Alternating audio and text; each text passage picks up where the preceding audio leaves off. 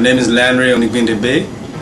Um, what I do, really, I'm a, I'm a person that just likes to look after their family.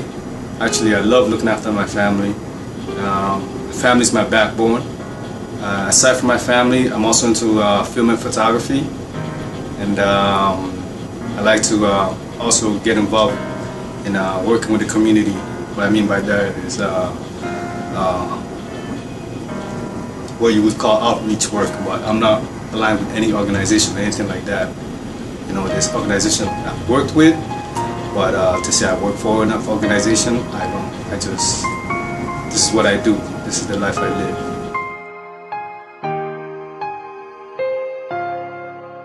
It's mainly for my daughter, and um, I just, I'm starting to think about um, stuff, um, my footprints, footprints I want to leave behind for for, for, for, for my children, and um, even though I did write the, uh, the letters for my daughter, uh, I also have a son.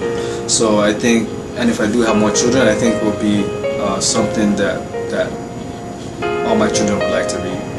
And, um, and it's, it's, also a challenge for um, parents who have a million excuses about why they can't be that parent that they need to be, whether it be work or I don't know, whatever whatever it is.